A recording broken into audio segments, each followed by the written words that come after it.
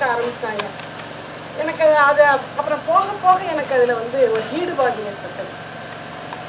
பெரிய புராணம் அப்படிங்கிறது தொண்டர் புராணம் தான். தொண்டனுக்கு தொண்டன் எல்லாத்துக்கும் கீழே இருந்து சிவனடியார்களை போற்றுதல் தான் அதனுடைய கருத்தே. இங்க இருக்கிறவங்க அத்தனை பேரும் சிவனடியார்கள்.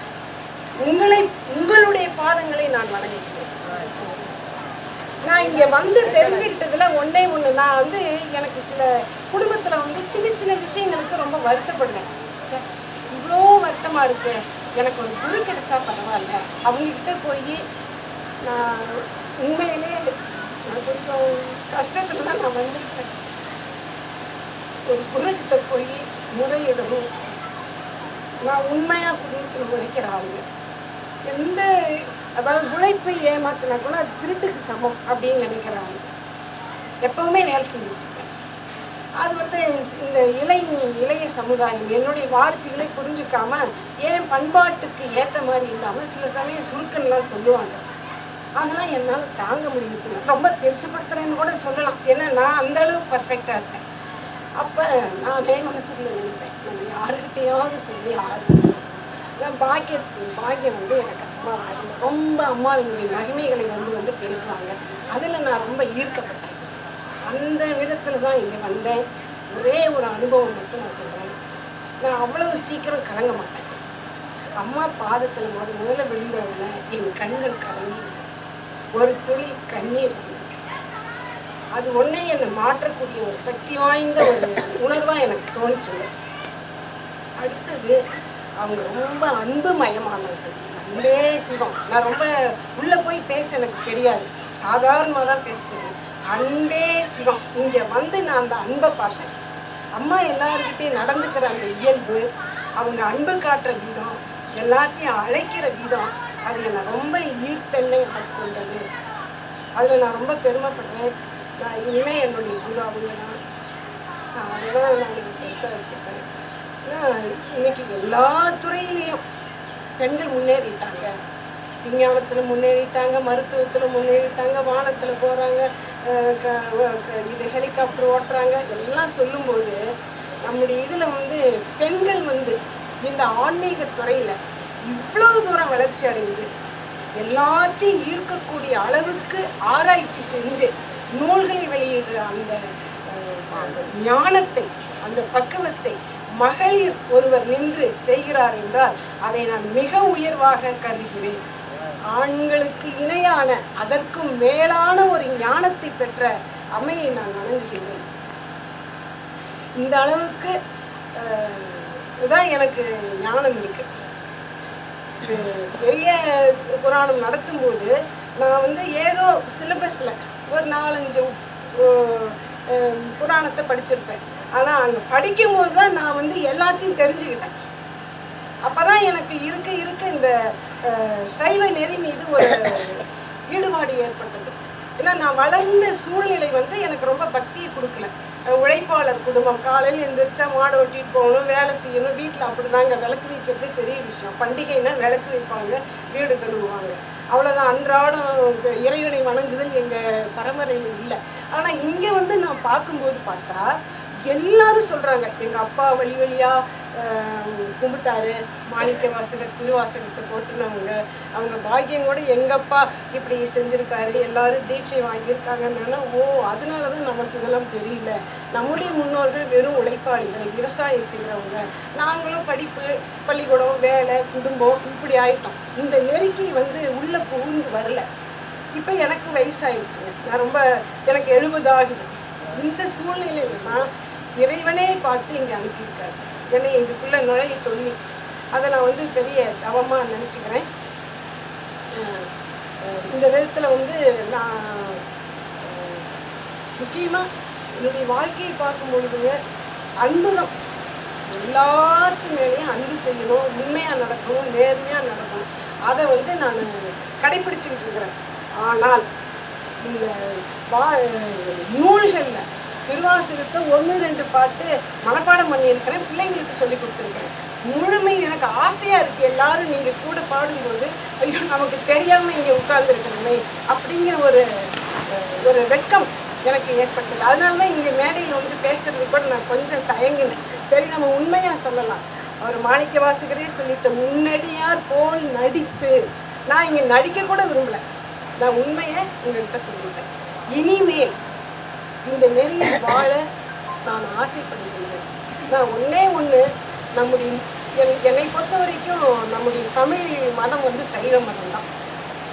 மனிதன் என்னைக்கு கல் தோன்றி மண் தோன்றா காலத்தை முன் தோன்றிய மூத்த நம்ம சொல்கிறாங்க என்னைக்கு நம்ம தமிழ் மண்ணில் தமிழன் தோன்றினானோ அன்னைக்கே இந்த சமயம் தோன்றிவிட்டு நம்முடைய மதம் சைவ மதம் தான். ஏனென்றால் நாம் ஆரம்ப காலத்தில் மனிதன் கடவுளை வணங்கவில்லை. தன்னை அச்சுறுத்திய நெருப்பு இடி மின்னல் பாம்பு இதெல்லாம் தான் வணங்கினாங்க. அதுக்கப்புறம் தனக்கு உதவி செய்த சூரியன் மழை அதை சாமியா வணங்கினாங்க. ஆக இயற்கையோடு இயற்கையா வளர்ந்து வந்த ஒரு சமயம்தான் வாழ்வியல் நெறிதான் ஒரு இயல்பு தான் இயல்பான வாழ்க்கை முறை தான் நம்முடைய சைவ சமயம். ஆக தமிழனுடைய மதம் சைவ சமயம் தான் எனக்கு இந்த சைவத்தை படிக்கும்போது நான் தமிழாசிரியையாக பணியாற்றியதனால் சைவத்தையும் தமிழையும் பிரிக்க முடியாது. சைவத்தால் தமிழ் வளர்ந்தது தமிழால் சைவம் வளர்ந்தது அந்த விதத்திலே இந்த தமிழ்நாட்டில் பிறந்தவர்கள் மட்டுமல்ல உலகத்தில் உள்ள அனைவர்களும் நாம் வணங்க வேண்டிய தெய்வம் ஒன்றே ஒன்று அது சிவம். சிவம் என்பது வேற ஒன்றுமே இல்லை. எந்நாட்டவர்க்கும் இறைவன். தென்னாடுடைய சிவனை போட்டி தென்னாட்டவர்கள் நம்ம சிவன் சொல்றோம். எந்நாட்டவருக்கும் இறைவன் போது எல்லாரும் அது இறைவன் சொல்றாங்க. அது அவங்கவுங்க விருப்பத்துக்கு சொல்லிக்கிறாங்க. அல்லான்னு சொல்லிக்கிறாங்க இயேசுன்னு சொல்லிக்கிறாங்க. அதனுடைய அர்த்தமே சிவம் தான் ஏன்னா ஆதியும் அந்தமும் இல்லை. அணுவுக்கு அணு அண்டத்துக்கு அண்டம். நோக்கரிய நோக்கு. நுணுக்கரிய நுணர்வு எல்லாமே அந்த சிவபுராணத்தில் வந்துச்சுங்க. அதை நான் படிச்சுட்டேன். அது மனப்பாடமாக எனக்கு அது ஒன்று தெரியும். நல்லா சொல்லுவேன். அந்த பெரிய புராண வகுப்புக்கு போய் அதை இவங்களோட எல்லாம் சேர்ந்து அது நல்லா மனப்பாடம் பண்ணிக்கிட்டேன். அதில் எல்லாமே வந்துருக்கு இந்த உலகம் தோன்றி இந்த உயிரினங்கள் வாழ்கிற வரைக்கும் அத்தனையும் வந்துச்சு. அதனால உண்மையான மதம் சைவ சமயம் அது தமிழோடு இயைந்தது தமிழர்களோடு இயைந்தது முதல் முதலில் தோன்றியது அதுதான் சமயம் இயல்பு வாழ்க்கை எப்படி வேணாலும் அதை சொல்லிக்கலாம். உலகம் முழுவதும் இந்த சிவம் என்பது பரவ வேண்டும். எல்லாட்டவர்களும் ஒரே தெய்வமாக நாம் சிவத்தை ஏற்றுக்கொண்டால் நாட்டிலே சண்டை இல்லை சச்சரவு இல்லை எந்த விதமான போராட்டங்களும் இல்லை அமைதியாக வாழ முடியும். ஆனால் இன்னும் நாம் உலக மக்கள் அந்த பக்குவத்துக்கு வந்து ஐயா சொன்னார் நான் வாழணும்னு நினைக்கல என் மனு என்னோட தமிழ் மக்கள் வாழணும்னு நினைக்கல இல்லை என்ன என்னோட நாட்டு க- உயிரினங்கள் வாழணும்னு நினைக்கல உலகம் முழுவதும் வாழ வேண்டும் என்பதுதான் சிவத்தினுடைய நோக்கம். அந்த சைவ மதத்தை நான் போற்றுகிறேன். அதற்காக தொண்டு செய்யக்கூடிய அம்மாவின் பாதத்தை மீண்டும் ஒரு முறை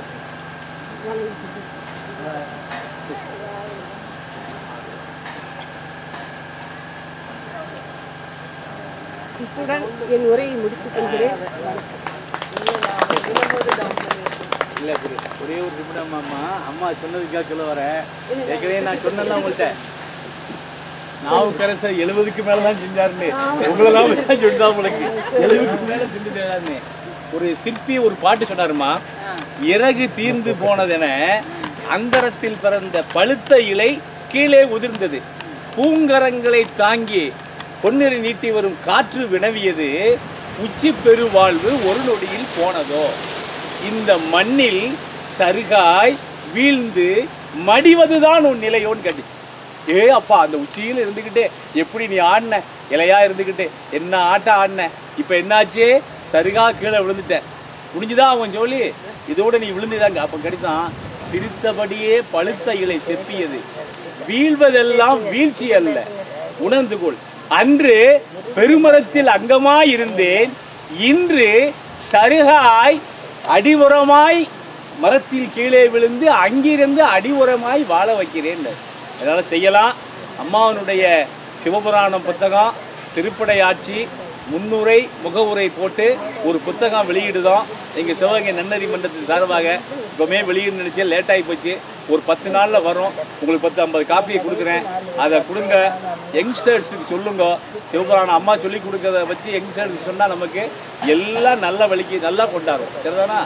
நல்லா நிறைய தொண்டு செய்யுங்க. அம்மாவினுடைய ஆசை உங்களுக்கு என்னைக்கு இருக்கும். ஒரே ஒரு வருத்தம். ஏன் பேத்திங்களே? எல்லாம் இங்கிலீஷ் படம் தான். எல்லாம் இங்கிலீஷ் பாட்டு தான் நான் திருக்குறள் சொல்லித் தர்றேன்டா இந்த பாட்டெல்லாம் சொல்லித் தர்றேன் வாங்க என்னுடைய அஹ், மன வருத்தத்துக்கே காரணம். எங்க வீட்டுல என் சொல் பேச்சு கேட்க மாட்டேங்கிறாங்க. எவ்வரிவ என் பேரன் எங்க வீட்டுல பேரன் சிவபெருமான் படிப்பான். அதிகமா ரொம்ப சொன்னான் தாத்தா பேசாம. ஆனா நீங்க நிறைய பேர் சொல்லி கொடுக்கலாமே. சாய்ஸ் வந்துருச்சே. பெரிய புராணம் வகுப்பு வந்துருச்சே. நிறைய பேர் சொல்லுங்க நிறைய பிள்ளைகள் சொல்லு எல்லாம் நம்ம பிள்ளைகள் தானே? ஆ சொல்லலாம். உங்களால முடியுமோ உங்களால செய்யுங்க. அம்மாவனுடைய ஆசை கண்டிப்பா இருந்தது உங்களுக்கு. டீச்சர் வாங்கி செய்யுங்க. நீங்க நல்லா இருந்து நிறைய பேர் கொண்டு வாங்க. நம்மளாம் சேர்ந்து இணைவோம். அவ்வளவுதான். அம்மா திருவடியில் நல்லது. உட்காருங்க. இந்த கூட்டத்துல எனக்கு பேச அனுமதித்ததுக்கு எல்லோருக்கும்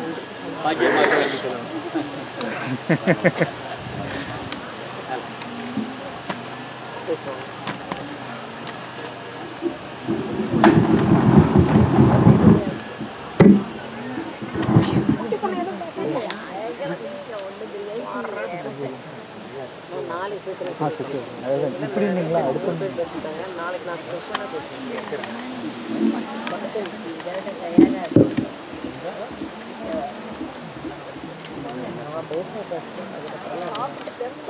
சொல்லணும் ஆஃப் ஆயிடுச்சா?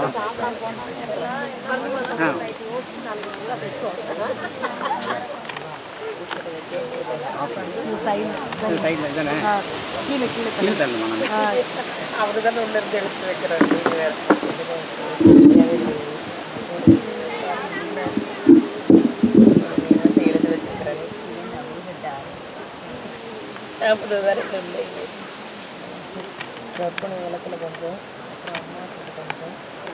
ரெண்டு தடவை ಲೋಡ್ ಆಗಬೇಕು ಟೈಮ್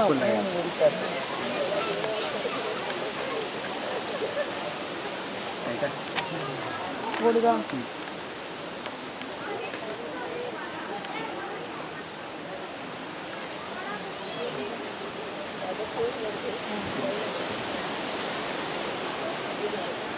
സായിക്കാനായിട്ടില്ല ഈ കട്ടവർക്ക്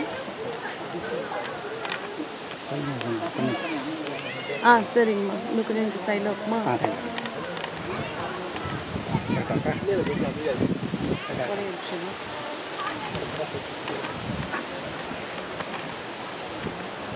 கொஞ்சம் புல் பண்ணாங்க கொஞ்சம் புல் பண்ணாங்க அதுக்கு மேலே புல் பண்ணாதீங்க.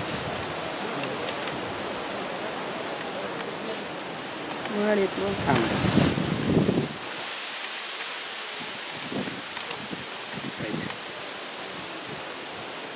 ஆ அரகரம பார்வதி பதையே அருட்பெரும் ஜோதி அருட்பெரும் ஜோதி. ஜோதி அருட்பெரும் ஜோதி தனிப்பெருங்கருணை அருட்பெரும் ஜோதி. பெருங்கருணை அருட்பெரும் ஜோதி எல்லாம் செயல்கூடும் என்னானே செயல்கூடும் என்னானே அம்பலத்தே எல்லாம் வல்லாந்தனையே ஏத்து. அம்பலத்தே எல்லாம் வல்லாந்தனையே ஏத்து. அப்பா நான் வேண்டுதல் கேட்டு அருள் புரிதல் வேண்டும். மாறுயிருக்கலாம் நான் அன்பு செயல் வேண்டும்.